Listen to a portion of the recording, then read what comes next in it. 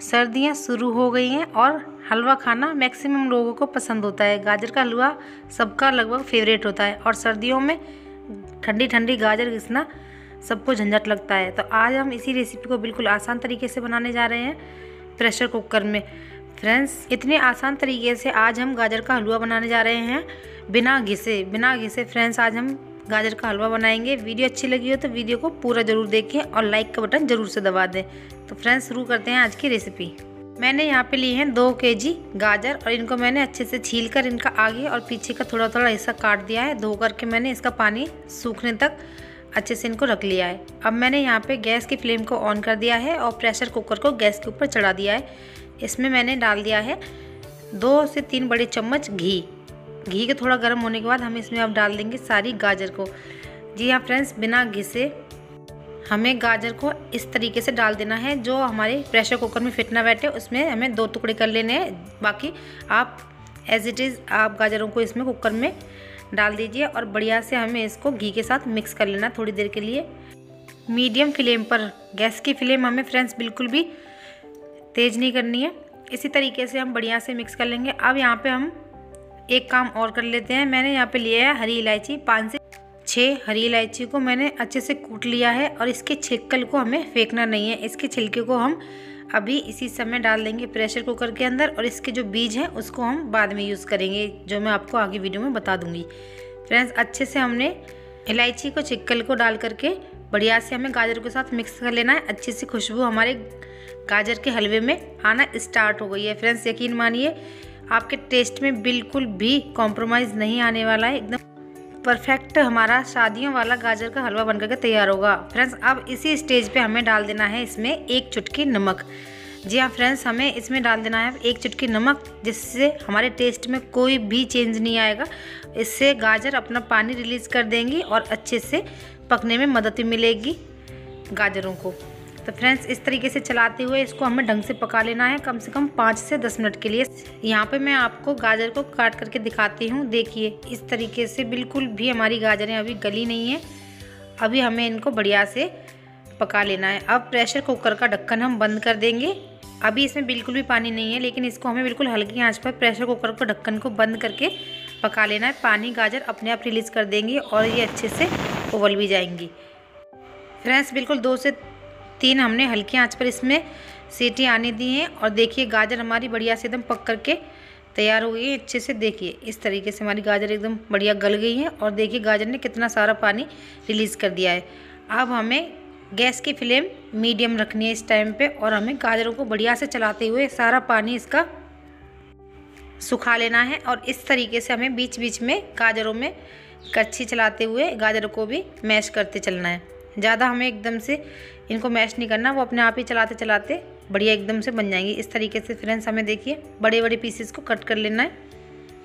बढ़िया तरीके से हमें चलाते हुए गाजरों को अच्छे से भून लेना है। देखिए फ्रेंड्स, गाजरों का सारा पानी सूख चुका है। पानी सूखने के बाद अब मैंने इसमें ऐड कर दिया है ढाई सौ दूध। मैंने यहाँ पे काव मिल्क का इस्तेमाल किया है। आप फुल क्रीम या किसी भी दूध का जो आपके घर में आता हो, उस दूध का इस्तेमाल कर सकते हैं। दूध डालने के बाद हमें गाजरों की फिर से बिल्कुल हल्की आँच पर भुनाई करनी है। देखिए फ्रेंड्स, बढ़िया से एकदम फ्लेवरफुल हमारे गाजर का हलवा बनकर के तैयार होने वाला है। इस तरीके से हमें चलाते हुए सारी चीज़ों को अच्छे से मिक्स होने देना है और अच्छे से फ्लेवर आने देना है। इस तरीके से हमें बढ़िया एकदम मावा की तरह इसकी अच्छे से भुनाई करनी है फ्रेंड्स। बिल्कुल हल्की आँच पर हमें इसको भून लेना है। ढक करके अब हमें इन्हें भुनने दूँगी मैं इसको। अच्छे से दूध सारा सूख जाए तब तक हमें बढ़िया से हमें अपना गाजर के हलवे को धीमी आँच पर हमें बढ़िया से भून लेना है। देखिए फ्रेंड्स, एकदम गाजर बढ़िया मैश हो गई हैं। कोई कह सकता है फ्रेंड्स कि हमने गाजर को बिना घिसे इस हलवे को बना करके तैयार किया है। फ्रेंड्स, बिल्कुल भी कॉम्प्रोमाइज़ नहीं होने वाला है। टेस्ट में बिल्कुल सादी पार्टियों वाला हमारा ये गाजर का हलवा बन करके तैयार होगा। और वीडियो अच्छी लगी हो तो वीडियो को लाइक बिल्कुल भी करना ना भूलें। फ्रेंड्स, गाजर के हलवे को हमें हल्की आँच पर पकने देना है। इधर हम एक पैन चढ़ा देते हैं गैस के ऊपर, जिसमें एक बढ़िया सा हेल्दी सा तड़का तैयार करेंगे गाजर के हलवे के लिए। पैन में मैंने डाल दिया है देसी घी। दो से तीन बड़े चम्मच मैंने यहाँ पे देसी घी डाल दिया। इसमें मैंने डाल दिए कटे हुए बादाम। बादाम को हम थोड़ा सा रोस्ट कर लेंगे, उसके बाद मैंने इसमें ऐड कर दिया काजू और पिस्ता, क्योंकि काजू बहुत जल्दी जलने लग जाते हैं, इसलिए हमें बिल्कुल कम आँच पर हमें ये सारे ड्राई फ्रूट्स को भून लेना है। सबसे लास्ट में मैंने ऐड करी है किशमिश। किशमिश हमें सबसे बाद में इसलिए ऐड करनी है, क्योंकि किशमिश फिर फूल जाती है, बिल्कुल उसका टेस्ट अच्छा नहीं लगता, इसलिए सबसे लास्ट में मैंने किशमिश ऐड की है सारे तड़के को हम अच्छे से इसमें मिक्स कर लेंगे गाजर के हलवे में और बढ़िया से हम इसको, अब इसको हम पकने देंगे बिल्कुल हल्की आँच पर। फ्रेंड्स इसमें जितना भी मॉइस्चर है, अच्छे से हमें इसको सुखा लेना है।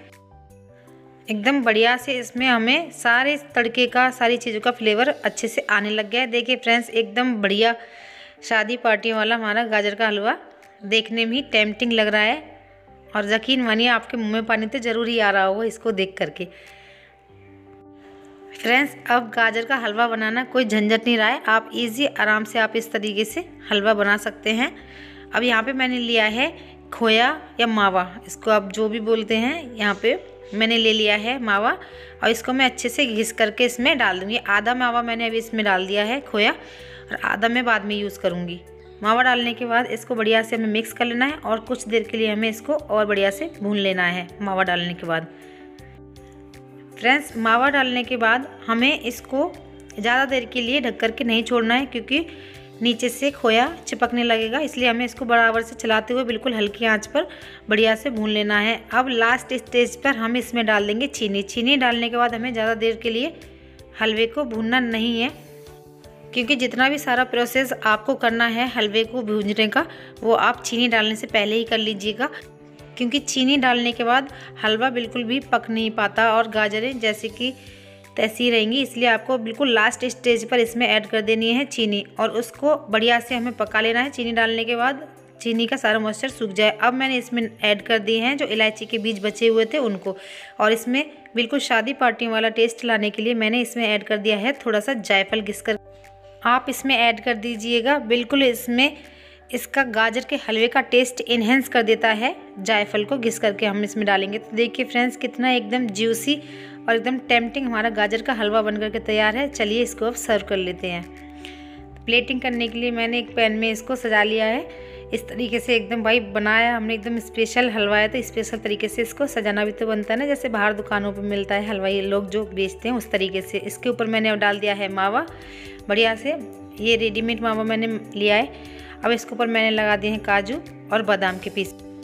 फ्रेंड्स आप अगर रेडीमेड मावा ना पसंद करते हो तो आप घर पर भी अच्छे से दूध को बढ़िया से उबाल करके खोया बना सकते हैं घर पे, और फिर आप उसका भी यूज़ कर सकते हैं। टेस्ट और भी ज़्यादा बढ़िया आएगा। तो लीजिए फ्रेंड्स, हमारा शादी पार्टियों वाला हलवा एकदम इजी और क्विक बन कर के तैयार है। आप भी टेस्ट कर लीजिए। फ्रेंड्स, यकीन मानिए, एकदम टेस्ट बिल्कुल बढ़िया, एकदम शादी पार्टियों वाला ही आया था इस तरीके से हलवा बनाने में।